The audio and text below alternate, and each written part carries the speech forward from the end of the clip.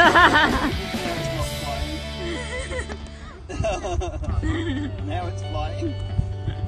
Just don't let go. Okay, that's enough.